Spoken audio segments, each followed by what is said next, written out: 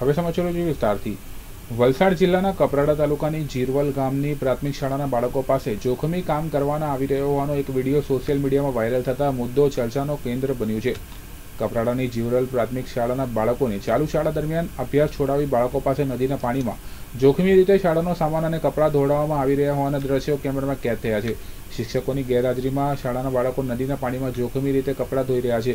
બાળકો પાસે નદીમાં કપડાં અને સામાન દોડાવવામાં આવી રહ્યા હોવાની જાણ થતાં બાળકોના વાલીઓએ આ અંગે રજૂઆત કરતા શાળામાં જતા શાળામાં પણ બાળકો સાથ પાસે સાફ સફાઈનું કામ કરવામાં આવી રહ્યું હતું જોકે આ અંગે વાલીઓએ શિક્ષકોને રજૂઆત કરતા વાલીઓ સાથે પણ શિક્ષકોએ ઉગ્ર વર્તન કર્યું હોવાના આક્ષેપો થઈ રહ્યા છે. ચાલુ શાળાએ બાળકો પાસે શિક્ષકોની ગેરહાજરીમાં નદીના પાણીમાં અને શાળામાં મજૂરી જેવું કામ કરવામાં આવી રહ્યો હોવાનો વધુ એક કિસ્સો પ્રકાશમાં આવતા, આ ઘટનામાં જવાબદાર શિક્ષકો વિરુદ્ધ કડક કાર્યવાહી કરવામાં આવે તેવી માંગણી વાલીઓ કરી રહ્યા છે. બાળકોના વાલીઓ માંગ કરી રહ્યા છે. જો સાહેબ તમે તમે બધી વાત બધી બધી બેન્ચીસો બહાર છે.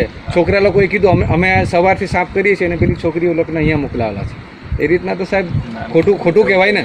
તમે શું માનો? એવું કઈ નથી. હમણાં હવે તૈયાર જઈને ભણાવવાનું જ છે અમારે. તમે જે તે સમય કેવી રીતે ભણશે? તમે જે તે સમય હતા સાંભળો બેન અરે સાહેબ સાંભળો. આ રીતના પણ આ રીતના તો છોકરીઓ થાકી જઈને હવે શું ભણશે સાહેબ? એકલતાણા મોકલી દો. જયેન્દ્રભાઈ લક્ષ્મણભાઈ ગાવિત સામાજિક કાર્યકર્તા જિલ્લા શિક્ષણ સમિતિ દ્વારા જ્યારે અત્યારે આપણે મોટા પોંડાની અંદર એક સ્કૂલમાં આપણે બન્યું, પેલો છોકરો કામ કરતાની એ મારી એસપાટ થઈ ગયો. એના પછીથી જ્યારે નાના અત્યારે ડેપોની ઉપર જે પશુ ચિકિત્સાનો કેમ્પ હતો, ત્યાં પણ સ્કૂલના બાળકો કામ કરતા આપણે જોઈ રહ્યા હતા. અને ત્યાં જ અત્યારે જ ખાલી થોડા દિવસમાં નારવડની અંદર પણ બાળકોને કામ કરાવે, મતલબ કમ્પાઉન્ડ માટેના ઝાડવા કાપી નાના નાના લઈ આવતા હતા. એની સાથે અત્યારે જ ખાલી જીરવલમાં અત્યારે જીરવલમાં જે સ્કૂલની અંદર અમે જ્યારે જતા હતા, ત્યારે આવતા હતા વિઝિટ મારે, ત્યારે એ છઠ્ઠા, સાતમા અને આઠમાની બાળાઓ નદી ઉપર સ્કૂલથી પાંચસો મીટર જેટલું અને સ્કૂલ કોલક નદી, ત્યાં છેતરંજી કે જે બી કપડાં સ્કૂલના જે બી હતા તે ધોવા માટે ત્યાં દસથી બાર બહેનો છે અને ધોતી હતી. ત્યાં એક પણ શિક્ષક એ લોકોની જોડે નથી. અને ત્યાં અમે પૂછ્યું, ત્યારે કીધું કે અમે સાહેબ લોકોએ મોકલાવ્યું આ કપડાં એ ધોવા માટે. તદુપરાંત એ લોકો જોડે એક પણ શિક્ષક ત્યાં હાથે ઉપસ્થિતિ નથી. જો આવો મોટા મોટા પથ્થરો હોય અને નદી હોય અને આવા બાળકો અચાનક પગ લપસી જાય ને પડી જાય, કેમ કે એ લોકો તરવાનો કોઈ અનુભવ ના હોય. તો એક, બે ગંભીર બાબત કહેવાય. એની સાથે સ્કૂલ પર અમે વિઝિટ મારી, ત્યાં પણ આ સ્કૂલના બાળકો બધા બેન્ચીસો કાઢીને સાડા બાર જેટલો ટાઈમ થયો હતો અને સાફ સફાઈ કરવા લાગી ગયા પાણી વગેરે.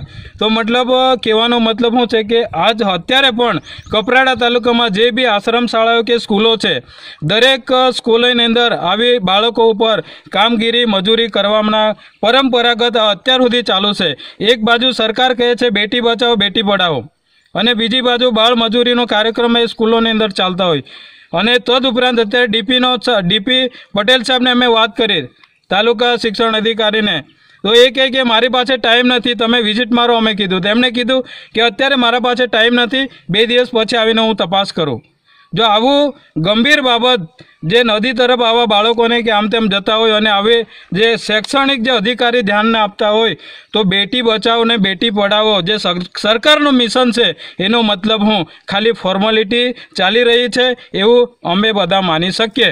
એના ઉપર કડક પગલાઓ સરકાર ધ્યાન આપે.